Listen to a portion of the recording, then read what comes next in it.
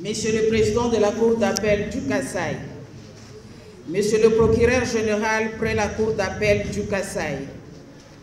Madame la chef de la délégation de l'ONG internationale AIPAS,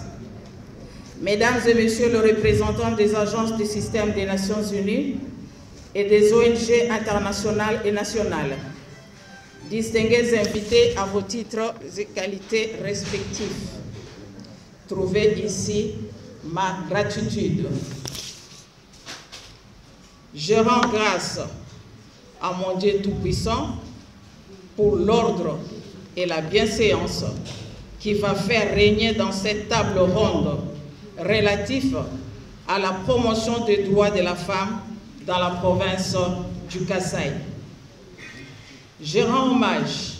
à son Excellence Félix Antoine Tshisekedi Chilombo, président de la République démocratique du Congo, chef de l'État, garant de la nation, pour son sens élevé dans le relèvement de la femme congolaise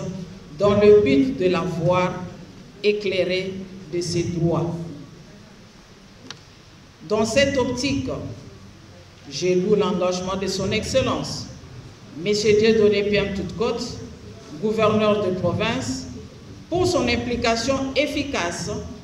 de voir la femme kassaïenne connaître ses droits en vue de les exercer. Honorable président de l'Assemblée provinciale du Kassai surreprésenté, Excellence, Monsieur le vice-gouverneur et le gouverneur ad intérim,